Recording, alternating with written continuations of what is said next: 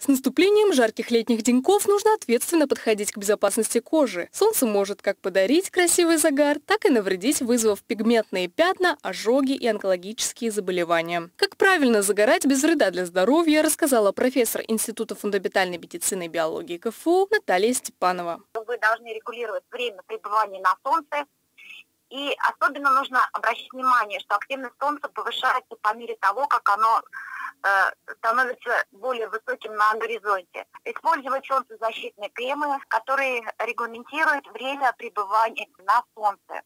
Обязательно, конечно, нужно соблюдать водно-питьевой режим. Ультрафиолетовое излучение солнца наиболее интенсивно с 10 часов утра до 16 часов. Поэтому в это время нужно ограничить время препровождения на солнце. Наилучшую защиту обеспечивают тень, одежда и головной убор. А на открытые части тела, лицо и руки необходимо наносить солнцезащитный крем. Но использование солнцезащитных средств не должно быть основанием для продления пребывания на солнце. Лилия Баталова, Универньюз.